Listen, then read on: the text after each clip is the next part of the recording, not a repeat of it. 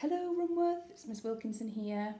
Um, it is Friday the 8th of May and for today's Meaningful May activities I am going to share with you my favourite song and why.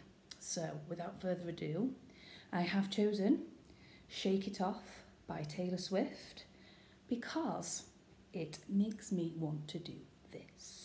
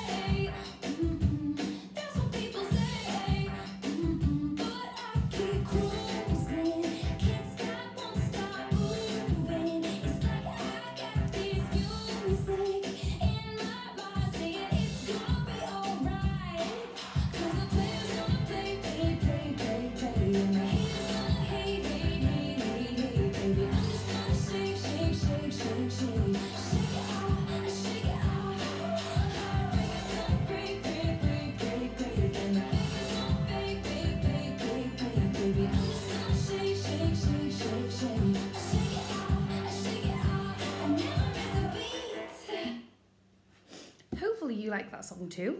I've shaken it so hard, I've shaken my hair out. Um, lovely to speak to you all. I hope you're all keeping safe and well. And I really, really hope that we get to see you all soon. Okay, take care. Bye.